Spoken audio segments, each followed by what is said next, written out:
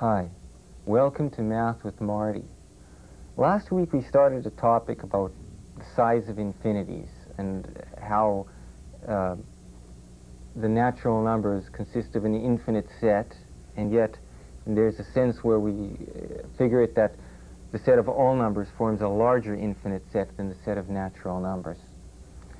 Um, despite the fact that we paradoxically consider the rational numbers, which is a very dense set which appears to include the natural numbers and many billions more numbers besides it, we consider it to be no more numerous than the natural numbers in the way we count infinities. I'm sure you're wondering why I got onto this topic. Um, usually the topics I like to do on this show have some sort of personal, personal meaning for me, although occasionally I'm find myself uh, overwhelmed by the, the, the educated public's lack of uh, acquaintance with familiar mathematical facts. You know, I'm not talking about just ordinary people. I'm talking about the people I see at university, uh, graduate students in uh, engineering and physics, who aren't uh, familiar with such uh, well-known mathematical proofs such as, for example, that the square root of 2 is an irrational number, or how you prove that the prime numbers constitute an infinite set. I mean, I used to think that everyone, everyone knew this stuff, and then I did the show and I started finding out that, you know, I'd talk to guys and say, well, I would do something like, you know, that the square root of 2 is irrational, except everyone knows that. And the guy would say, well, how, how did they prove that? And uh, so sometimes I find myself doing these topics uh, just sort of to fill in the, the gaps left behind by the, the, uh, the sick educational system, uh, which uh, is, uh, suffers from the spiritual sickness of believing that all of its problems are due to lack of money, whereas actually there's billions of dollars in the educational system, and the sickness of the educational system is a sickness of of knowing, recognizing what's worthwhile. I mean, we're all caught up these days in, in the university with trying to publish papers and prove things that no one's ever proved before and generate, generate new results. And this, this attitude permeates the whole math, science, engineering, uh, the whole, and I'm sure it's the same in arts. I don't know about how it is in arts, but it really permeates the, uh, the technical side of universities, scientific, mathematical side of things. And in this rush to create new things, we have found that the efficient way to do it is to ignore the great works of the past and get the student as quickly as possible, once he's got his undergraduate courses out of the way, get him as quickly as possible to specialize in a modern, up-to-date, state-of-the-art, frontier kind of research project which, uh, which means that the guy is measuring the specific gravity of mud to decimal places undreamed of only 20 years ago, and yet the same guy does not know how Pythagoras proved 2,000 years ago that the square root of 2 is irrational. And then they say, well, the people in science uh, courses, they don't have any culture. They should be forced to take an English course or a philosophy course or something. Well, this is fine, but I mean, really, what they don't recognize is they don't know their own culture, the culture of science. They don't know the story of James Watt discovering the steam engine. They, they don't know the story of uh, Fermat's last theorem. They just don't know any of these popular uh, mathematical lore things. Now, the story of uh, transfinite numbers, which I'm getting into today, uh, fits into what I call one of the great philosophical accomplishments of mathematics that should sort of be common knowledge to anyone that's ever taken a science course, but, but seems to somehow slip through the cracks in our rush to, to get these people trained for important uh, jobs in the civil service. Um,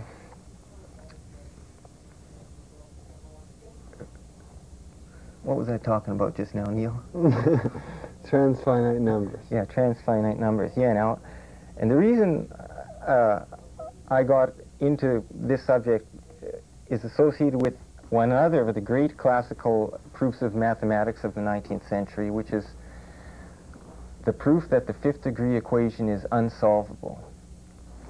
And I studied this a long time because, because it's one of those proofs that in their headlong rush to get you up to the forefront of learning in mathematics, the professors say, well, don't worry about all that old stuff. You can look it up in any third-year algebra textbook.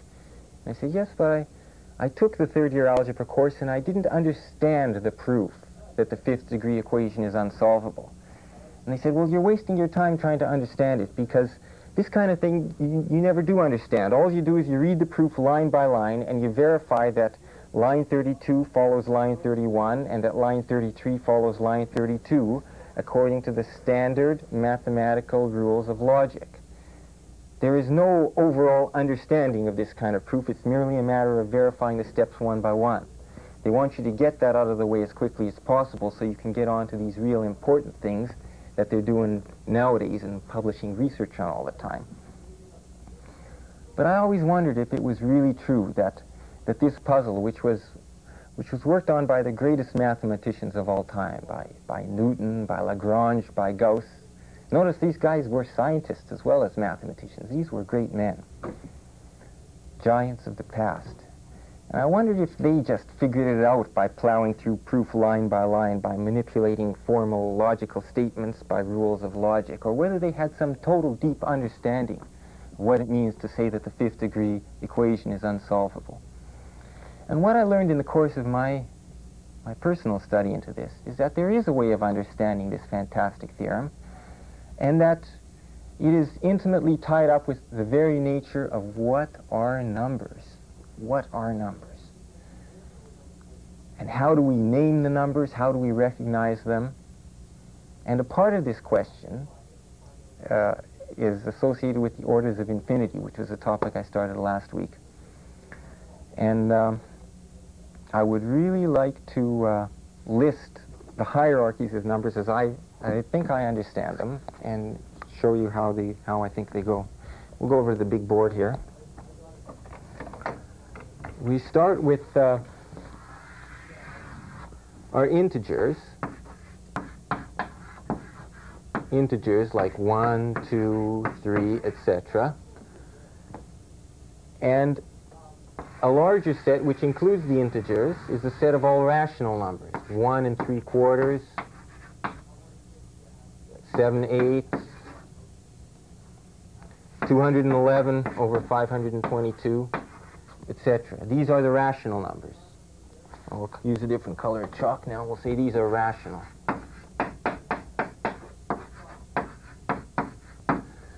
Now, outside the rational numbers, we have the big set of all irrational numbers, which we'll call irrational numbers. which are numbers that cannot be expressed in the form of a fraction. And the fact that there's numbers that you can't name by labeling them as a fraction is an amazing fact which was known by the Greeks. Known by the Greeks. Pythagoras showed that the square root of 2 is not rational. So we put the square root of 2 outside here. But we draw a tighter circle around numbers like the square root of 2 and I'll also include in, in this group numbers which I'll call, let's say, the square root of 3 plus 5, and then I'll take the square root of that whole thing. And I'll include here all numbers which you can sort of write down by multiple use of the square root sign. And I will call these numbers constructible numbers.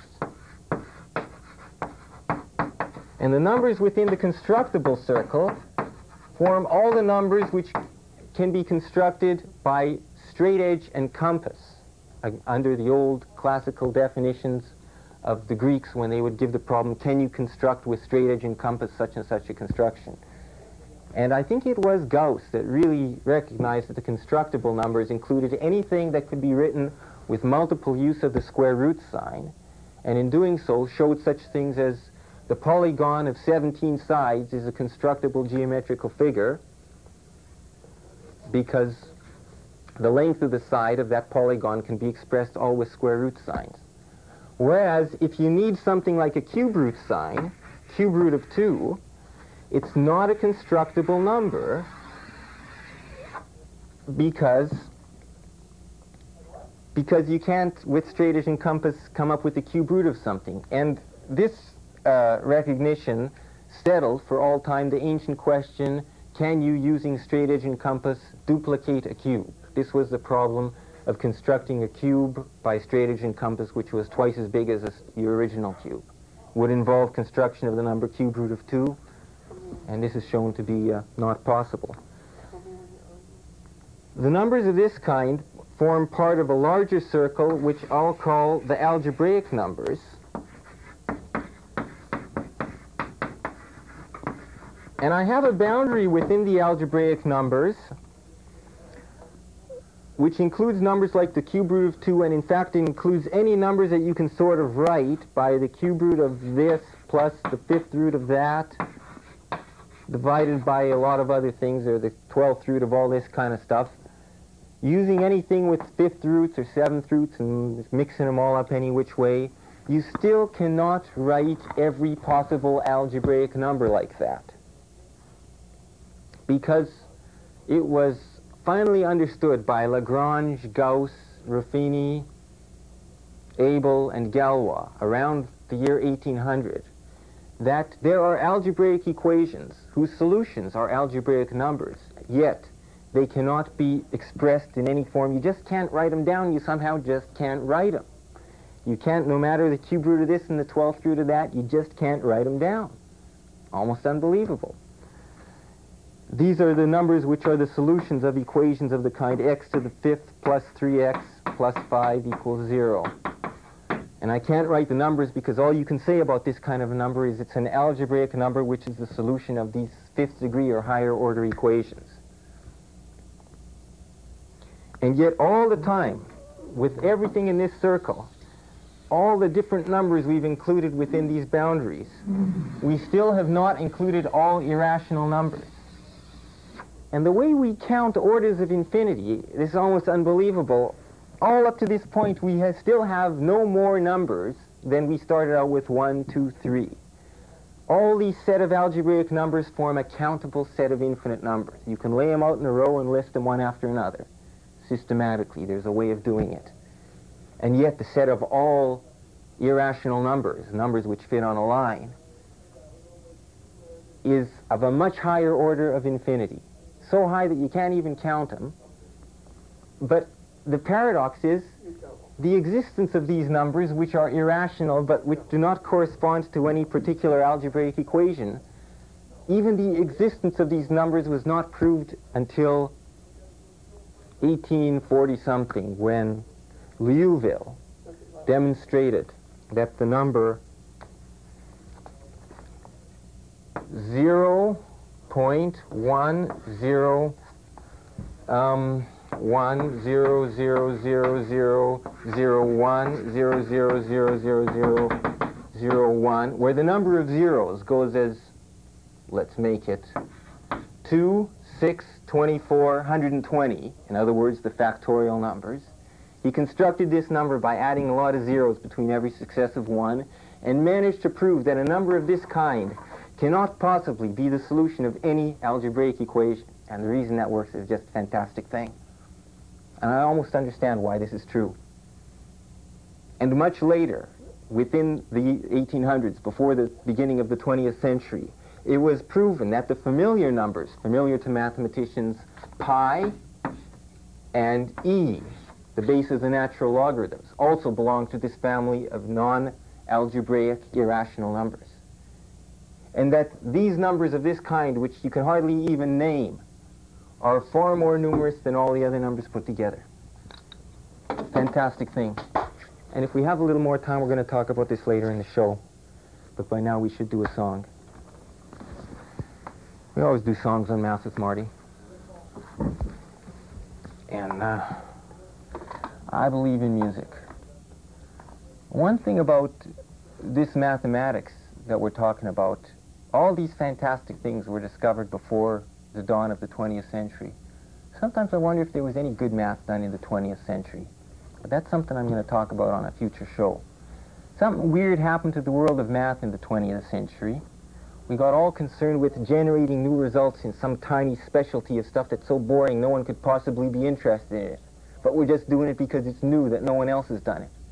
No one wants to waste their time understanding the great achievements of the ancient masters of a hundred years ago. And in music, a peculiar thing also happened, especially in the world of classical music, is until the dawn of the 20th century, the ideal of music was to create something beautiful. But around the start of the 20th century, certain intellectual academic musicians began to say, well, you know, we've sort of done everything that can possibly done, be done in terms of making beautiful music. It's getting boring just making beautiful stuff. Let's make ugly stuff instead. So they made idiotic rules of composition where you're supposed to just do sounds that were ugly, that had idiotic rhythms, and this is what's called classical music now. You listen to like CBC FM and you hear examples of this stuff sometimes. And uh, it's something unprecedented in, in human history that the pursuit of ugliness should, should uh, displace, I mean, the fantastic ability to create beautiful music, which was a, a hard-fought achievement. The ability to create wonderful music was not always intrinsically present within the human race. I mean, we have always had the ability to appreciate music. Somehow it's, it's been born within us. But the knowledge of how to create that kind of music, to, to build the instruments, to the rules of harmony, somehow remains to be discovered over the course of ages. This is almost unbelievable. And yet in the 20th century, we have uh, the academic elite is dominated by people who reject the idea that these discoveries are worthwhile. They believe that man can create rules of tonality and composition more interesting than the rules which God has placed within our soul from birth that everyone recognizes when music is beautiful and we recognize when music is idiotic or ugly. Yet, yet uh, we have this kind of sickness in our present day. I mean, it's the same thing in the world of art, where they can pay a million and a half dollars for the god, for the gosh darn voice of fire to hang in the in the art gallery and say this is art. I mean, it used to be that you'd paint a beautiful painting and you'd say, well, it's beautiful. And now they have, oh no, that's you're just too too dumb to appreciate what's beautiful. If you really understood things, you would understand this uh, this uh, that these uh, lines and shapes really are are meaningful, and it's only because you're too ignorant to understand it. I mean, our whole 20th century cult culture has had this undercurrent of intellectual people trying to prove that they can invent aesthetics which are more perfect than the aesthetics which everyone is born with, which are good enough to tell you what's beautiful. I believe in music. I believe in country music. Let's do a beautiful song that was done by a Canadian singer, Mark Midler. He's a guy with that real gravelly voice. He had this radio hit a few years ago, well, a few months ago. I'm not going to try and do that gravel in his voice. I'm just going to sing it the way I would normally sing. Sleeping with you in my dreams again.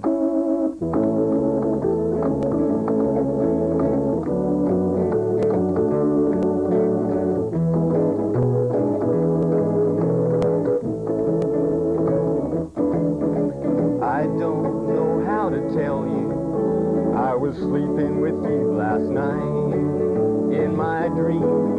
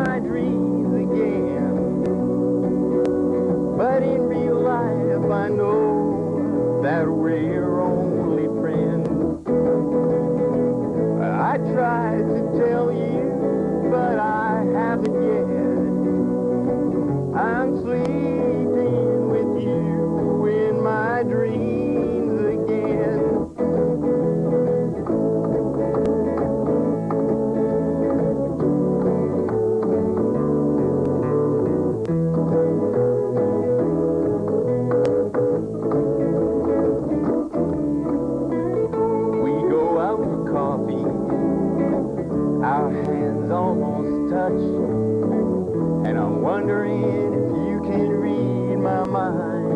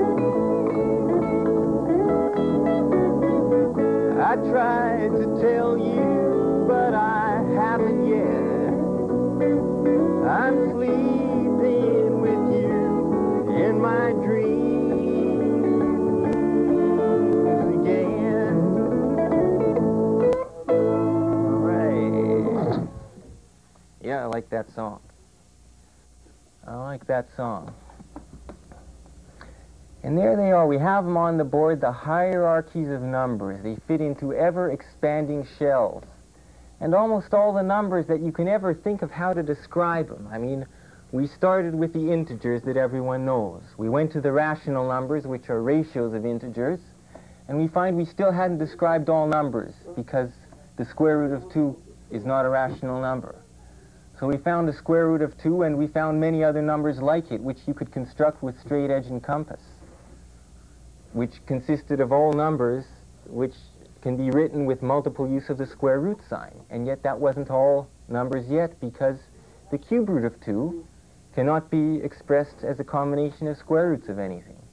So this gives us a wider yet class of numbers, anything that you can write with the cube root of this and the seventh root of that and divide them all together.